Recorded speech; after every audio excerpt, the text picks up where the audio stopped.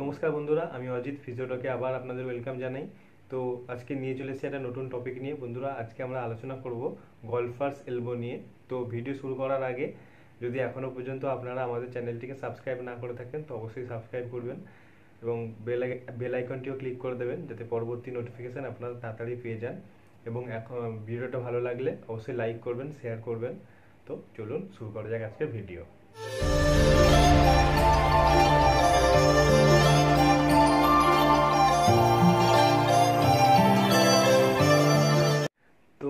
আজকে আমরা যে টপিকটা আলোচনা করব, তার নাম হলো গলফার্স এলবো। এর আর একটা নাম হলো মিডিয়াল এপিকন্ডাইলাইটিস। এটি টেনিস এলবোর একদম উল্টোটা।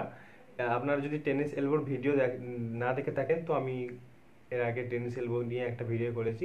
আর ডিসক্রিপশানে আপনারা লিঙ্ক পেয়ে যাবেন। তো চলুন শুরু করা যায় বন্ধুরা, গলফার্স এপিকন্ডাইলাইটিস বা গলফার্স এলবো, এর ডেফিনেশন হলো it is the injury of medial epicondylitis আপনার মিডিয়াল এপিকন্ডাইলাইটিসে একটা ইনজুরি এর ফলে কি হয়? এর ফলে আপনার ফোর আর্মে যত ফ্লেক্সার গ্রুপ অফ মাসেলস থাকে, সেগুলো এফেক্টেড হয়। কারণ বন্ধুরা, এখানে আপনার, এটা হলো আপনার মিডিয়াল এপিকন্ডাইলাইটিস এখান থেকে ফোর আর্মের ফ্লেক্সার মাসেলের অরিজিন অরিজিন এবং এখানে ইনজুরি হলে আপনার ফ্লেক্সার ফ্লেক্সার মাসেলের টেন্ডনে অরিজিন টেন্ডনে পেন শুরু হয়, ফলে পুরো ফ্লেক্সার মাসেলে পেন শুরু হয়। তো এটাই হলো গলফার্স এলবো। তো এর কারণ কি? কারণ হলো বন্ধুরা, বারবার এলবোর খুব জোরে জোরে ফ্লেকশন মুভমেন্ট করলে এলবোতে মানে মিডিয়াল এপিকন্ডাইলাইটিসে ইনজুরি দেখা যায়। মানে বারবার এরকম জোরে জোরে ফ্লেকশন করলে আপনার এই ইনজুরি হতে পারে। তো বন্ধুরা, কাদের এই গলফার্স এলবো বেশিরভাগ দেখা যায়? প্রথম হলো হাউস ওয়াইফ হাউস ওয়াইফদের এই রোগটা মানে এই অর্থোপেডিক ডিজেনারেটিভ ডিজিজটা দেখা যায়। এছাড়া গলফ প্লেয়ারদেরও হতে পারে। নাম শুনেই আপনারা বুঝতে পারছেন গল্ফ যা, যে সমস্ত ব্যক্তিরা বেশি গলফ খেলে তাদেরও হতে পারে। গলফ খেলাতেও আপনার এলবোর রিপিটেড একটা খুব জোরে জোরে মুভমেন্ট হয় ফ্লেক্সানে এর ফলে আপনার মিডিয়াল এপিকন্ডাইলেসে একটা ইঞ্জুরি তৈরি হয়। তো গলফ খেলা যারা, তাদেরও এটা হতে পারে। তো এর ক্লিনিক্যাল ফিচার্স কি? চলুন এর ক্লিনিক্যাল ফিচার্স দেখে নিই। মানে সিমটমস কি কি হতে পারে। তো এর ক্লিনিক্যাল ফিচার্স হলো, আপনার মিডিয়াল এপিকন্ডাইলাইটিসে যেখানে ইনজুরি হয়, সেখানটা ফুলে যায়।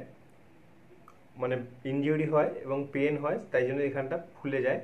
দুই হলো, যখন আপনারা এলবো ফ্লেকশন করবেন যারা ফ্লেকশন করে, তখন ফ্লেকশনের সময় একটা ব্যথা, তীব্র ব্যথা একটা অনুভব করা যায়।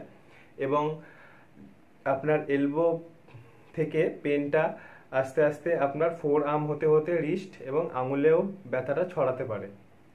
এবং পরের পয়েন্ট হলো এরম তীব্র ব্যথার ফলে এলবোর ফ্লেকশন এবং এক্সটেনশানে একটা রেস্ট্রিকশান চলে আসে মানে রেঞ্জ অফ মোশানে রেস্ট্রিকশান দেখা যায়।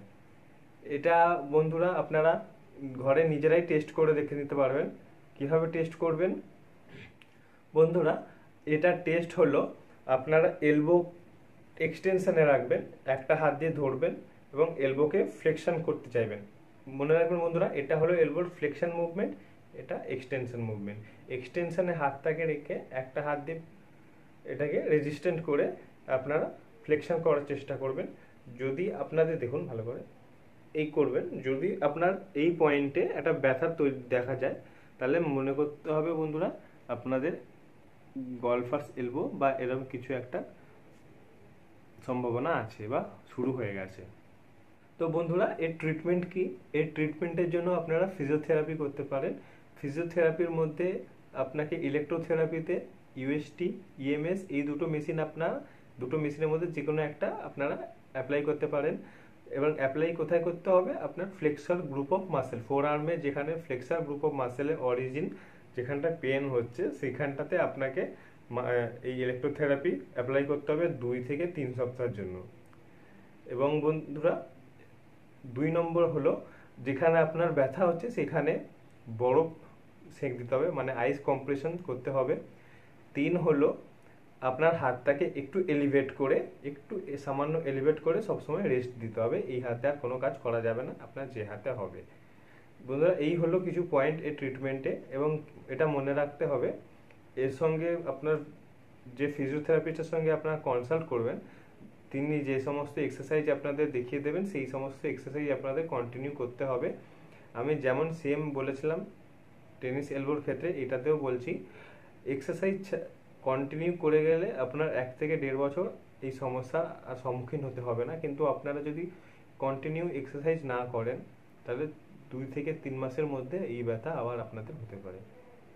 তো বন্ধুরা, আজকের টপিক এইটুকুনি। যদি ভিডিওটি ভালো লেগে থাকে, অবশ্যই লাইক করবেন এবং শেয়ার করবেন এবং কমেন্টে জানাবেন কেমন লাগল।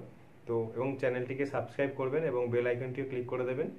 কেননা, আমি আপনাদের জন্য এই সমস্ত এই সমস্ত রিলেটেড টপিক নিয়ে আসি। তো, নমস্কার